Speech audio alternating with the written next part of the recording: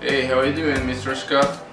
We would like to show you uh, what we have right now, okay? So this is the first one Thor that my dad was sculpting and this is the final result without painting. He didn't like too much uh, how this one looks like so he decided to make a new one with better propor proportions using of course tools. And doing some medicine so this is what we have right now. Of course without painting.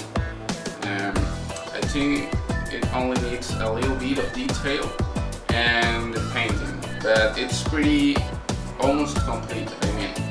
Okay. we also like to show you uh, you're you're actually you're the first the first one uh, looking at the, at the uh, this crocodile that my dad is making right now.